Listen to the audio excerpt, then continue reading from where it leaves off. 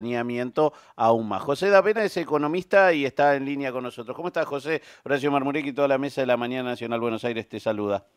Buen día, Horacio. Muy bien, muchas gracias por el llamado. No, por favor, a vos por atendernos en estas horas de la madrugada en invierno, que es más difícil, no me digas que no. Sí, pero ustedes peor, porque están ahí desde más temprano, así que... bueno, entonces hagámoslo juntos, que vamos a llevarlo a buen puerto, como todo lo que deberíamos hacer. Bueno, son días donde... Eh, entiendo esto, o, lo hablamos al principio, cuando se miran los números y se empieza a ver algunas condiciones, eh, lo del dólar es un accesorio más de una circunstancia que tiene muchos más componentes que a la, digamos, al gran público se le escapan, ¿no? Sí, en, realidad están sucediendo dos aspectos. Por un lado están los aspectos que vienen eh, motivados por cuestiones externas y por otro lado están las cuestiones que están eh, vinculadas al saneamiento de la economía local.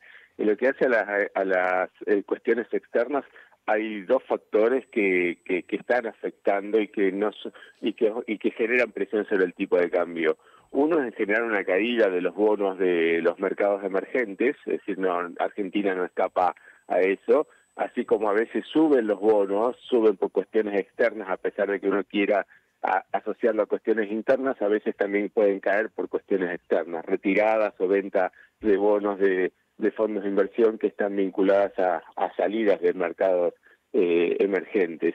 Y segundo punto, y que no es menor, es lo que está sucediendo en Brasil. El, el real ha tenido una depreciación muy, muy fuerte. Si mal no recuerdo, está en 5 60 eh, el por 5.60 reales por dólar, lo, lo cual muestra que que hay una una situación en Brasil de, debilidad del tipo de cambio que nuevamente no es trivial a los efectos de, de, la, de las economías de la, de la región. Terminan de una u otra forma impactando, y en este caso lo que terminan impactando en la economía argentina es a través de los de los dólares financieros específicamente, es decir, la Argentina tiene por el tipo de cambio oficial un crawling peg al cual eh, devalúa un 2% todos los meses y lo ha establecido como una regla intentando de que sea la, la norma. Y, y cuando la economía tiene algún tipo de presión sobre el tipo de cambio, eventualmente eso se termina reflejando o en caída de reservas o también en la suba de los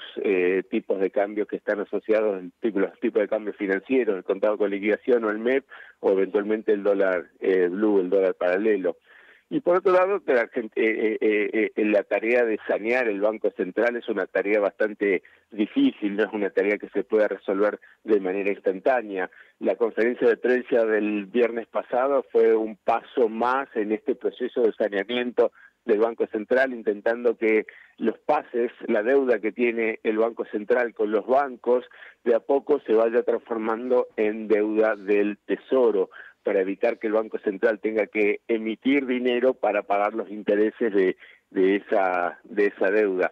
Ese ese traspaso esa esa migración desde pases pasivos que el banco central eh, debe y por lo cual tiene que pagar intereses y creando una expectativa de emisión futura de dinero que termina impactando eh, en en alguna aproximación de lo que es un, un tipo de cambio de equilibrio genera también eh, todo un proceso que se hace eh, eh, que, que, que va eh, de a poco eh, transformando esa deuda del Banco Central en deuda del Tesoro con el objetivo de finalmente poder sanear esa, esa deuda, así que el Banco Central no tenga un, una creación de dinero endógena o que genere una expectativa que pueda llegar a impactar sobre el tipo de cambio. Eh, y, y finalmente, bueno, el, repercute la actividad económica, es decir, la actividad económica eh, necesita dinero y cuando cae la actividad económica cae la demanda de dinero y al caer la demanda de dinero eventualmente eso puede terminar impactando en el tipo de cambio, es decir, porque se necesita menos dinero y al no y, y al necesitar menos dinero se crea una oferta excedente que esa oferta excedente puede terminar impactando en el tipo de cambio. El mismo proceso que sucede cuando hay emisión monetaria por encima de las necesidades puede terminar impactando de manera negativa también cuando hay una caída en la actividad económica.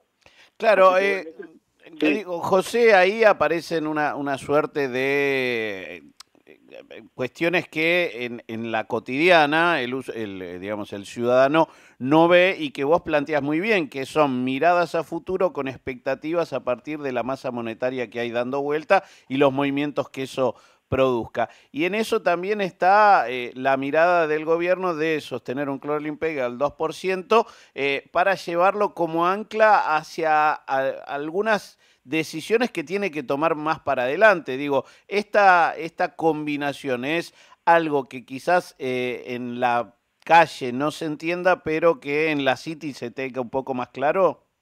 Sí, sí, pero sobre todo en lo que eh, está eh, eh, a la expectativa de la economía es que cuando finalmente se va a poder normalizar el tipo de cambio. O sea, todo este proceso de saneamiento del Banco Central, de trasvasamiento de deuda del Banco de Pasivos Remunerados hacia el Tesoro, requiere que sea una tarea en la cual se hace muy difícil que se haga sin cepo. Todo eso, si, si no hubiese cepo, eso realmente terminaría repercutiendo de manera negativa en la volatilidad del tipo de cambio, porque el cepo eh, tiene un aspecto eh, positivo y negativo. El aspecto positivo es que permite hacer esto sin que el tipo de cambio realmente flote. ahora, el, el, aspecto negativo es que ralentiza el crecimiento. Argentina no crece desde el año 2011, en la cual se puso el primer cepo, es decir, Argentina dejó de crecer cuando se empezó a intervenir el tipo de cambio, creando esta brecha entre el tipo de cambio oficial y el tipo de cambio eh, libre. Entonces, Argentina para crecer lo que necesita es liberar el cepo, para poder liberar el cepo necesita un banco central que esté más razonablemente saneado y necesita de a poco poder ir accediendo al crédito externo, sea de manera directa, y cuando digo crédito externo no me refiero a que inversores del exterior le presten dinero, le presten dólares a Argentina. Crédito externo significa que si usted, por ejemplo, Horacio, tiene dólares, se los preste al Estado a cambio de un bono y no le pida las tasas de interés que actualmente le están pidiendo. Es decir, ese es el, el, inconveniente. Entonces, la brecha es, es eh, eh, eh, el la brecha que genera, que actualmente está en un 50%, es muy, muy significativa, es lo que termina ralentizando el crecimiento. Por eso existe cierto apuro para tratar de resolver, bueno, ¿cuándo se resuelve esto?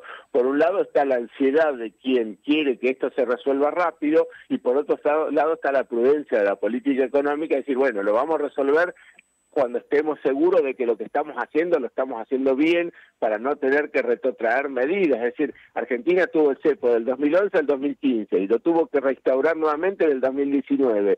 Entonces todo eso termina impactando en la economía, porque una economía que no puede crecer con cepo. La pregunta es qué tipo de cambio utilizo, cómo hago para planificar para para adelante. Entonces, entre la combinación, eh, desde mi punto de vista, hay tres grandes eh, pasos en este proceso. El primer paso es eh, controlar la inflación. El segundo paso es poder resolver el, cepo y el tercer paso es poder lograr ese crecimiento que, que Argentina necesita porque nuevamente hace eh, desde el 2011, hace 13 años que Argentina no está creciendo, no puede crecer. Argentina debería tener a esta altura un Producto Bruto que estuviese un 40% superior de lo que está en el nivel actual y sin embargo eh, no lo está y eso requiere una cierta, cierta paciencia que a veces choca con las ansiedades del mercado y con lo que viene de, de, de externos.